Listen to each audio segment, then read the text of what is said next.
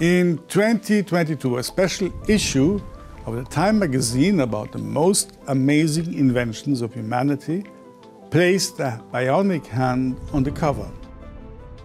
This development by Ukrainian startup Esper Bionics was acknowledged as one of the greatest inventions of all times by the editors of the journal.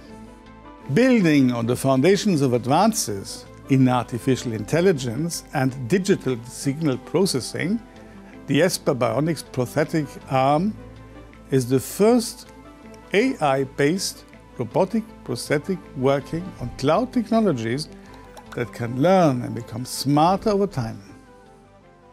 The prosthetic has 24 sensors that record and analyze brain impulses and muscle activity.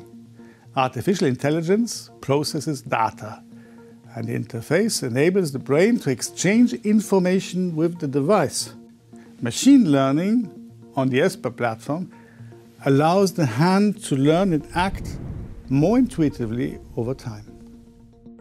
Dmytro Hazda, CEO and co-founder of Esper Bionics, is also a medical doctor, engineer and visionary. He believes that the prosthetic market is ready for rapid development and right now the foundation is being laid for the bionic future of humanity. The most important technology developed in the next 30 years will be electronics inside the human body, says the Ukrainian innovator. It is worth recalling it was Ukrainian surgeons who, for the first time, fitted a bionic prosthetic of Ukrainian production to a paratrooper who lost an arm and a leg during the Russian war of aggression against Ukraine.